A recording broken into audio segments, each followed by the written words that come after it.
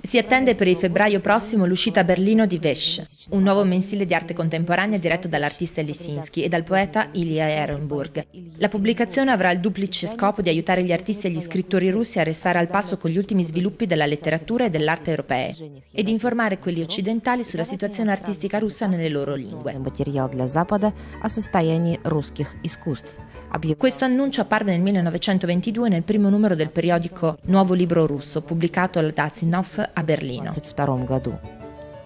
Vesh, il nuovo mensile dedicato alle arti, era il portavoce del vescismo, un movimento che vedeva nell'arte e nel lavoro due forme molto simili dell'attività umana, il cui prodotto finale è l'oggetto e la cosa, Vesh in russo. La rivista godeva del sostegno della collaborazione di Chaplin, Egenstein, Le Corbusier, Leger e molti altri. Il design radicalmente nuovo di Vesh influenzò quelle di altre riviste contemporanee, Merz, Bendingen, Brom, e delle pubblicazioni sovietiche dedicate all'edilizia e all'architettura. Negli anni trascorsi a Berlino, Lisinski disegna i libri di Mayakovsky, Ehrenburg, Tyrov, Ivanov, Razumnov, Worsch e Kushikov, pubblicati in Germania, e dà alle stampe un suo libro a cui aveva cominciato a lavorare a Vitebsk, Storia di due quadrati, un manifesto in forma grafica del suprematismo, in cui egli vedeva il necessario principio costruttivo dell'arte astratta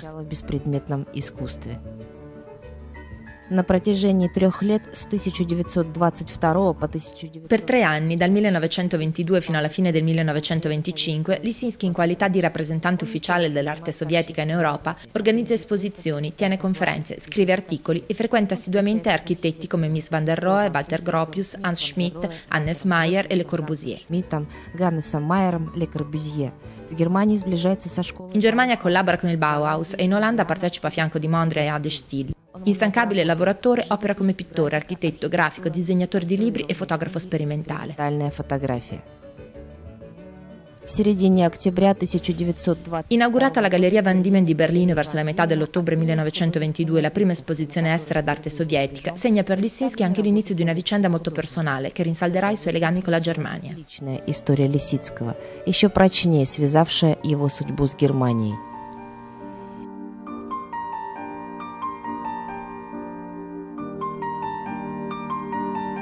Sofie.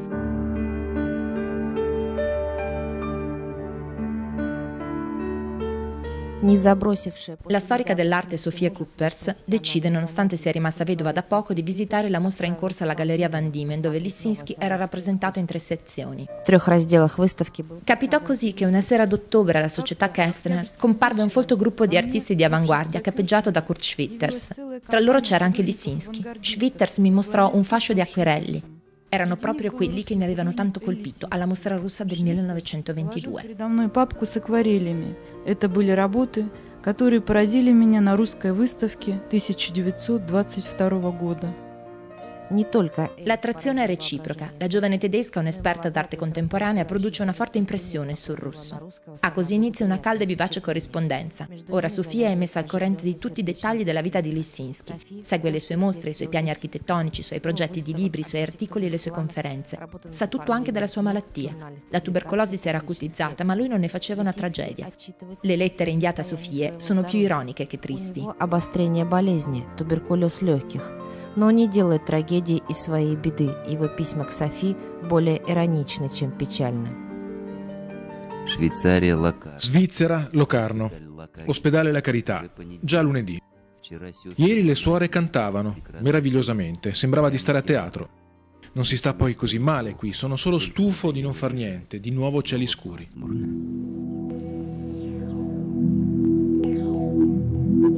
Fotopis.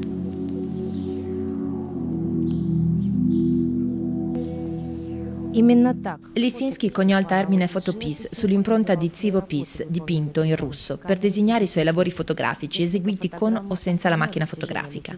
Le sue opere più importanti in questo campo sono basate sulla tecnologia e sulle tecniche del fotogramma. Una natura morta fatta di lampadine, un paio di tenaglie, un cucchiaio e un manichino in negativo e in positivo.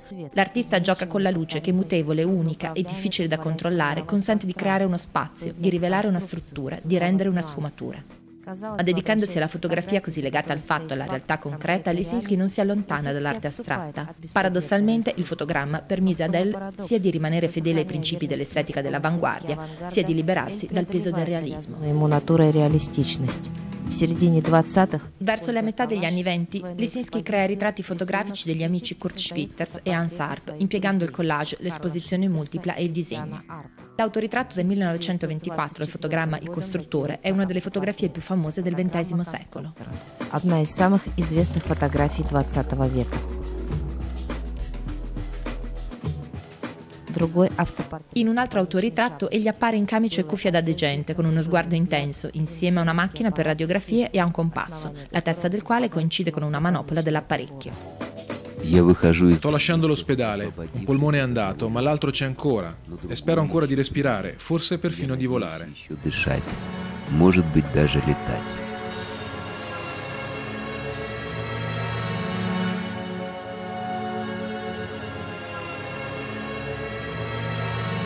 costruzioni.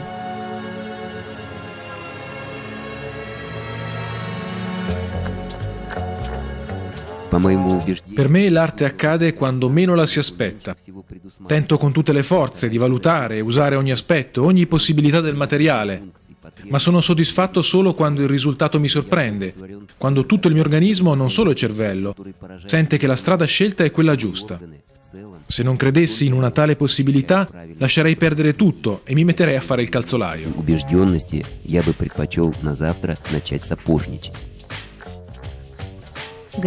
Il grattacielo orizzontale fu il suo primo tentativo di applicare l'idea di Proun in campo architettonico. Tra tutte le composizioni Proun, la numero 88, creata nel 1923, è quella più vicina a un grattacielo. Nei due anni seguenti esegue una serie di disegni e progetti ben dettagliati per i suoi grattacieli. Che l'idea fosse rifiutare la verticalità del grattacielo americano o ribadire la sua presa di posizione in favore del nuovo, egli decise di costruire un Proun reale che facesse da contrappeso alla città vecchia, fatta di strade strette e congestionate In tutti i casi, l'idea del grattacielo orizzontale era perfettamente sensata e quella che era stata pensata come una stazione di transito tra pittura e architettura fu sul punto di essere realizzata. Конечной станции от живописи к архитектуре казалась очень близкой к осуществлению. Lissitsky non progettò mai edifici destinati a rimanere sulla carta. Il grattacielo orizzontale è il suo progetto architettonico più conosciuto. Lo elaborò fino all'ultimo chiodo, in tutti i particolari. Definì l'intero aspetto tecnico del grattacielo, che doveva sorgere all'incrocio tra l'anello A e un boulevard. Si preoccupò ad esempio di evitare che l'edificio impedisse la vista del Cremlino o interferisse con la circolazione dei tram, mise tutto per iscritto. Descrisse tutto in un articolo pubblicato su Isvestia, molto realistico, era certo al 100% che sarebbe stato costruito. Кре- видно Кремль, но с другой стороны, как это надо строить, чтобы не прекращать движение трамвая под этим. Вот все это он напи- написал, это же опубликовано им в такой газете «Известия основы», где он это показал абсолютно реально. Это он, он считал на 100%, что это будет осуществлено. В 1900 Nel 1925 Lisinski torna in Russia per insegnare alla facoltà di architettura di Vkutemas e come sempre lavora intensamente come insegnante, curatore di pubblicazioni artistiche, disegnatore di libri e riviste e designer di mobili. Progetta inoltre esposizioni sovietiche internazionali a Mosca, Berlino, Colonia, Dresda, Stoccarda, Parigi, New York e Lipsia. Le grandi mostre internazionali di quadri assomigliano a uno zoo dove il visitatore è assalito da migliaia di fiere diverse nello stesso tempo. Nella mia sala d'esposizione gli oggetti non dovrebbero attaccare tutti insieme il visitatore. Se un tempo si favoriva una certa passività nel visitatore che passava davanti a muri pieni di dipinti, il presente progetto si propone di stimolare la sua attività. Questo dovrebbe essere l'oggetto della mostra.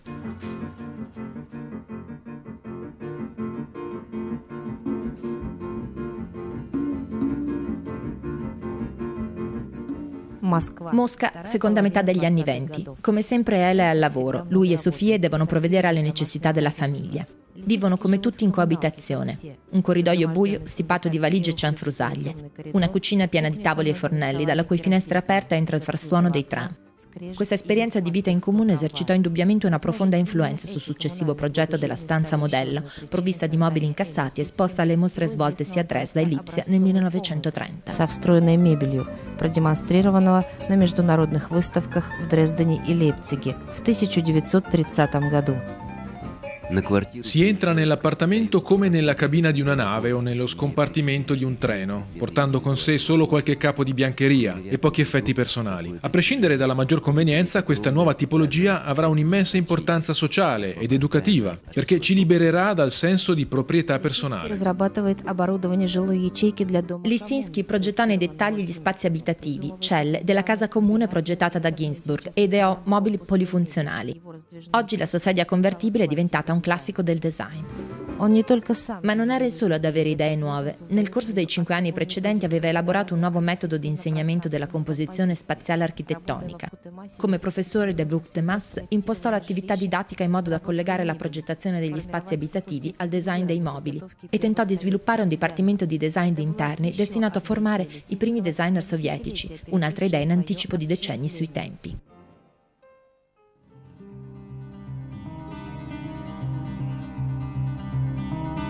L'artista e inventore.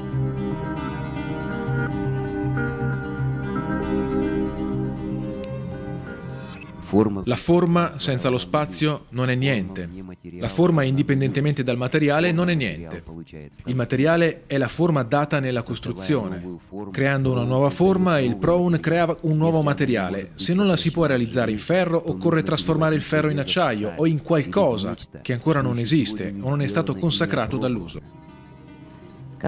L'interesse dei progetti architettonici di Lisinski deriva dalla loro posizione al confine tra architettura e pittura. Egli riteneva che l'architettura fosse la più importante delle arti, in considerazione del suo valore sociale e della sua utilità concreta. Con ciò non si limitava a rendere il dovuto omaggio alla sua formazione di architetto. L'architettura gli offriva l'opportunità di sintetizzare tutte le sue diverse esperienze creative e soprattutto di creare qualcosa di appropriato alla nuova epoca e al nuovo modo di vita. Era questa l'idea che stava alla base del suo grattacielo orizzontale, il progetto architettonico più importante e di tutti i suoi lavori successivi.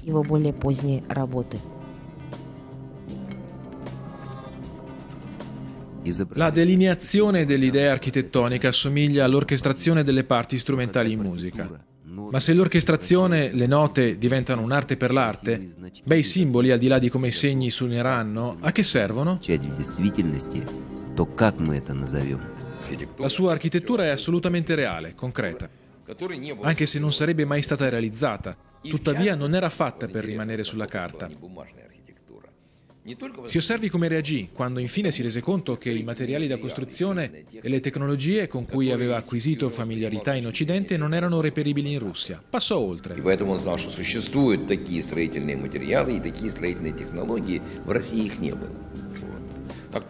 Progettò esposizioni, che erano a loro volta una forma di architettura, ma che potevano essere realizzate in breve tempo. E in questo campo ottenne un grande successo.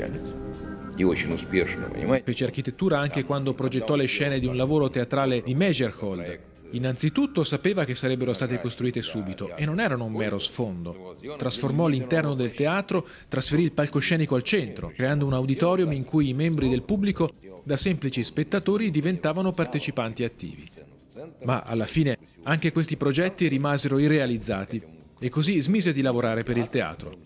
E quando collaborò a URSS in costruzione si metteva a fare ritagli, incollaggi, fotomontaggi, finché nel giro di due o tre settimane, tutto al più di un mese, non aveva tra le mani una rivista vera, reale. Semplicemente non tollerava l'idea che un lavoro rimanesse incompiuto. Он не переносил идеи незаконченной работы. Il diritto che l'artista ha di creare non significa fare manifesti o qualsiasi altra cosa che sia ordinata e giudicata dalla grande indifferenza. La grande indifferenza. Ebreo indipendente e membro dell'avanguardia proscritta, trascorse gran parte della sua vita all'estero. I suoi amici, i suoi compagni di lavoro e di creatività vivevano là. Della sua cerchia facevano parte molti perseguitati. Era un motivo più che sufficiente per finire in un campo di rieducazione del Gulag. Ma per quelli che detenevano il potere, Lisinski non era un essere umano né un artista, bensì un elemento di valore, una rotella dell'ingranaggio della macchina ideologica. Le sue capacità così diversificate lo rendevano troppo utile. E così i punti deboli della sua biografia l'eutanasia furono ignorati, almeno per il momento, e l'uomo, già condannato dalla malattia, poté seguitare a vivere. Quando seppe di essere stato destinato a girare cinegiornali, il grande documentarista Ziga Vertov disse una cosa bellissima. Certo, un pianoforte può anche essere usato come tavolo da cucina, disse, ma non è questo il suo uso normale. La stessa cosa accade a Lissitsky, lo si rileva dai contratti che dalla fine degli anni 20 agli anni 30 lui, il famoso designer che solo qualche anno prima aveva progettato grandiose fiere internazionali, firmò per etichette di scatole di fiammiferi, per la pubblicità di un'industria di liquori, per padiglioni secondari della fiera dell'agricoltura di tutta l'Unione. Quindi sì, anche lui ebbe la sua parte di guai e di certo non deve essere giudicato per quello che fece. Non bisogna dimenticare che era un uomo molto malato e che lo fu per decenni. Uno dei suoi più stretti colleghi della redazione di Urs in Costruzione una volta mi disse che Lissitsky aveva un tubo d'argento nella schiena che drenava il fluido che si formava nel polmone superstite.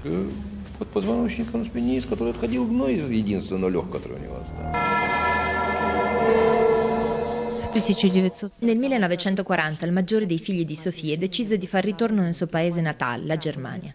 La strana pace seguita alla firma del patto Molotov-von Ribbentrop suscitò un forte allarme. Hitler divenne per la propaganda l'alleato più fedele di Stalin, nonché il suo compagno di idee. Kurt Küppers ottenne senza difficoltà i visti necessari ad uscire dal paese e partì in pace, ma poco dopo, in quanto tedesco che aveva tradito la sua madrepatria per la Russia e che per giunta aveva come patrigno un ebreo, fu internato nel campo di concentramento di Sachsenhausen. L'alleanza tra i due tiranni ebbe fine il 22 giugno. Il 30 dicembre, con i tedeschi ormai alle porte di Mosca, il secondo figlio di Sofie, Hans Kuppers, fu inviato a scavare trincee e non fece più ritorno. Arrestato come spia del nemico, fu trasferito in un campo di lavoro, questa volta sovietico. Quello stesso freddissimo giorno, Elisinski morì di tubercolosi nella sua residenza estiva, nascosta tra i boschi. Aveva 52 anni. На 52 году жизни.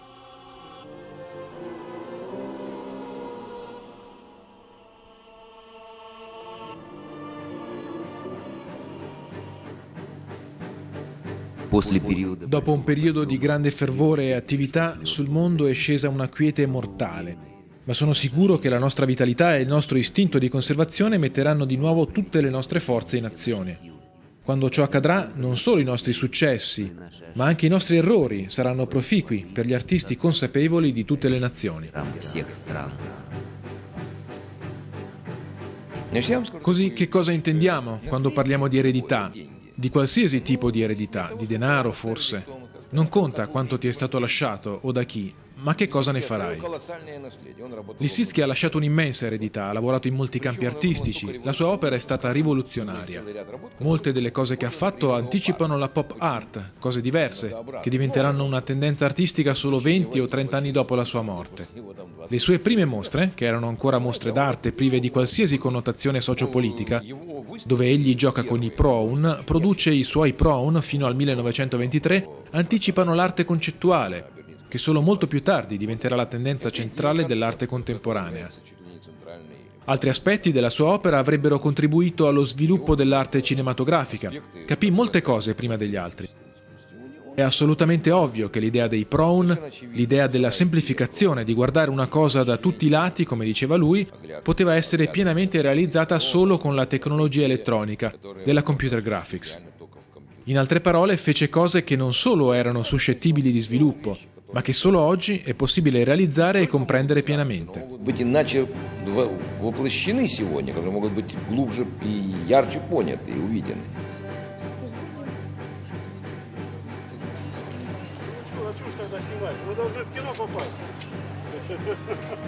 Questo film è stato creato grazie al sostegno finanziario del centro Lisinsky di Novosibirsk e dell'assistenza tecnica della Fondazione Sociale Municipale Yuri Kondratyukov di Novosibirsk. Si ringraziano Alexander Kanzadikas e Sergei e Tamara Lisinsky che hanno messo a nostra disposizione documenti e altri materiali.